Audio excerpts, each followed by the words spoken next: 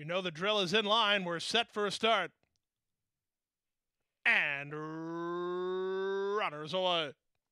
From the center, the gray starship Mufasa wins the break, immediately tackled by Dramatic Kitten, who's put into play. In tight between is Alperis, moving out the rail mighty fast. Four across the course early, as you know the drill tries to work over. Powers between horses, Catch Me at Noon is nearest the inside. Fuego's out widest. Then back to Future Prince, racing a length in front of Time for Trouble. He's second last, and there's one not keeping up at all early, and that's the trailer K's Funhouse. 24 and 4 for the opening quarter as they bend into the backstretch. Alperis has the lead. Dramatic Kitten up alongside second. Mighty Fast is third. Power is tugging. He's already on the bit. Power. He's now third, three wide. Starship Mufasa is next. Then Catch Me at Noon, and you know the drill. Future Prince nearest the inside. From between horses, Time for Trouble gets started about five or six lengths behind. Fuego is three deep, and then it's a big gap to the trailer. K's Funhouse.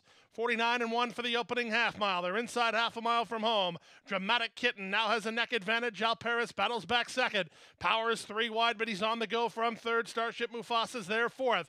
Time for Trouble is a driven fifth, two better than a retreating Mighty Fast. Then Future Prince and Fuego as they round the far turn.